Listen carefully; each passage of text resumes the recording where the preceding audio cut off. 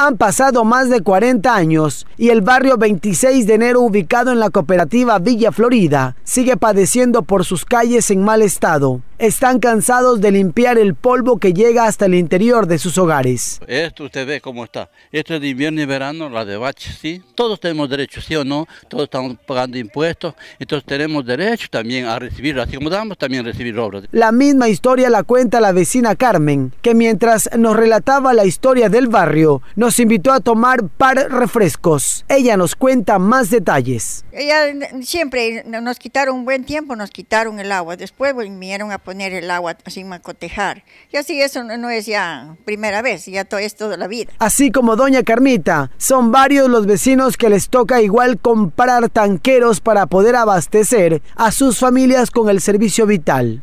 Esta semana no nos ha dado agua, y hemos botado como dos, tres tanqueros de agua hemos botado. ¿Cuánto más o menos gastan?